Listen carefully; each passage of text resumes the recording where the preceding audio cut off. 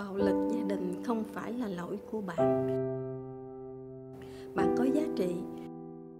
Bạn xứng đáng được tôn trọng.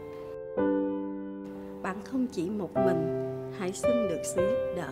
Hãy gọi số điện thoại miễn phí. 1 800 339 3940 chúng tôi có thể giúp bạn.